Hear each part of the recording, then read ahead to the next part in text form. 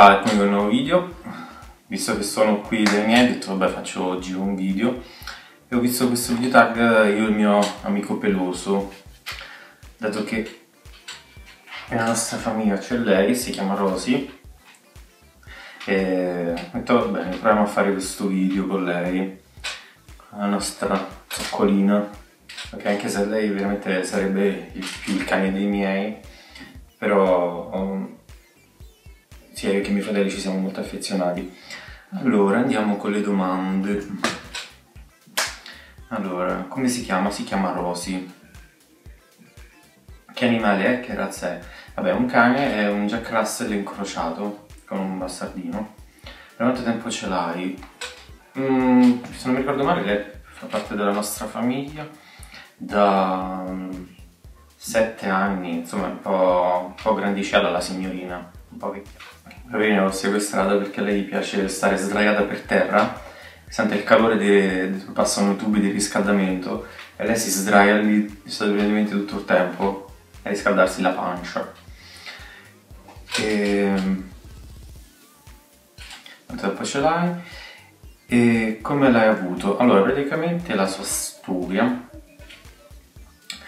lei è stata adottata sì, ehm, praticamente mio fratello più grande eh, ha trovato online un annuncio di un'associazione ehm, di protezione dei cani, di un canile di Napoli, in cui cercavano padroni per i, per i cani abbandonati. Mio fratello ha visto la foto e se n'è innamorato. Praticamente da Napoli la, con il treno l'hanno portato a Roma e l'hanno consegnata a mio fratello che poi l'ha, l'ha data ai miei genitori quando poi lui se n'è andato di casa. E quindi lei è rimasta sempre con i miei genitori praticamente vive in simbiosi con loro. E la sua storia è che, lo, ci hanno raccontato che praticamente lei era stata abbandonata eh, dai padroni e buttata in un cassonetto. Eh sì, è stata, lei è nata, c'è chi nasce nel cavolo e chi, chi nasce nell'immondizia. Era stata buttata nell'immondizia sfortunatamente è stata salvata e portata a questo canile che, che ogni anno, non mi ricordo adesso il nome del canile dell'associazione che si occupa, però ogni anno so che, che praticamente cercano dei padroni online da tutta Italia per far adottare i cani e loro li consegnano a loro spese. Quindi mio fratello ha letto questo annuncio e l'ha adottata. Poi quanti anni ha? Come ho detto, lei è grandicella.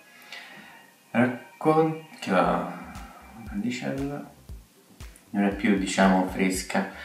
Non è più una signorina. Racconta qualche sua stranezza. Vabbè, tutta strana. Come ho detto, va bene, tutta strana. Mm. Vabbè, lei è praticamente innamorata di, di mio padre lei riconosce la macchina a distanza quando si avvicina, eh, fa dei salti, quando ha fame fa dei salti di meno due metri quando vuole giocare e praticamente è talmente innamorata di mio padre, lei è femmina, non ha quindi il pisellino, che tutte le volte lei si struscia sulla gamba di mio padre come se fosse un, come fanno i cani maschi e lei è femminuccia. Quindi non so se c'è qualcuno che è esperto di cani mi sa dire perché fa così. Forse è una lesbica inside, no? È un cane transgender. Cosa significa per te il rapporto con lei? Beh, io ho detto la vedo, la, ultimamente la vedo poco perché vivo a Milano, prima ci vedevamo di più, però per esempio quando è venuta a Milano con i miei è venuta anche lei perché miei sono stati un mese come non la lasciano perché così tanto tempo, se magari uno o due giorni la lasciano a uno dei miei fratelli, ma per un mese non se la sentivano di lasciarla e anche perché lei avrebbe sofferto la lontananza dai miei genitori, quindi se la sono portata. Quando è venuta a Milano me la sono goduta perché non avendo un cane, un appartamento piccolo, eh, quindi la portavo fuori tre volte al giorno, la mattina, pomeriggio e sera, mi sembrava di avere un cane. Eh, una cosa molto carina è che lei ogni volta che torno mi fa tante feste e mi piscia addosso regolarmente, tutte le volte che piscia addosso. Perché mi fa le feste e mi segna il suo territorio. Così io puzzo di piscio tutte le volte. Poi vabbè come tutti i cani lei ha paura dei fuochi d'artificio infatti non vi dico che Capodanno quello che ci ha combinato, piscia sempre dappertutto, andando sempre tutti i botti.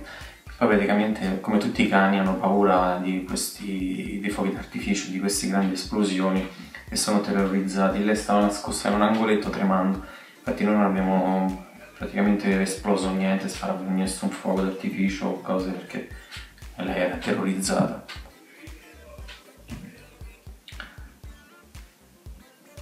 Momenti più belli insieme. Momenti più belli insieme, vabbè, quando è venuto diciamo un mese a Milano, poi vabbè, le, mm, tanti, tanti viaggi che abbiamo fatto insieme, quando andavamo a trovare i miei parenti a Napoli ce la siamo portata. Eh, poi è venuta praticamente dopo un po' che mi era morto il cane che avevamo prima, che era un volpino, e da quando questo è nato praticamente abbiamo sempre avuto animali, sempre i cani.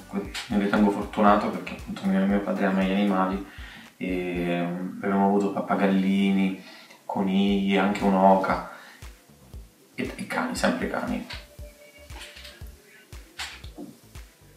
Che soprannome ha? Zoccola, perché lei è una zoccola, appunto perché si struscia le gambe di mio padre e praticamente tutte le volte che io sento i miei su Skype lei prende possesso del mio letto quindi io la vedo nell'angolo sul mio letto dico quella zoccola sta sul mio letto e da lì che mi guarda così sorniona perché dice ne sei andata adesso il letto è di nuovo mio quindi non so sei più felice quando vengo o quando me ne vado? Che così va a dormire sul mio letto. Che però riconosce, vabbè riconosce fuori, andiamo fuori, andiamo eh, papà, papà, dov'è papà? Però come tutti i cani è un po' terrorizzata anche dai bambini, perché i bambini sapete non, hanno modi molto delicati quando eh, vedono i cagnolini, lei è piccolina, quindi anche se è grandicella, è piccolina di, di, di razza. E quindi pensano sempre che sia un cucciolo e gli fanno male, involontariamente i bambini fanno male agli animali e quindi lei è molto delicata, non sopporta i bambini. Ma anche i cani che avevo, cani che avevo prima non sopportavo i bambini. Una volta vedevo un bambino si nascondeva. E niente, questo è un piccolo breve video con la mia Rosy. E niente, noi ci vediamo prossimamente e, quando torna a Milano con gli altri video. E ti faccio salutare dalla zoccola. Ciao!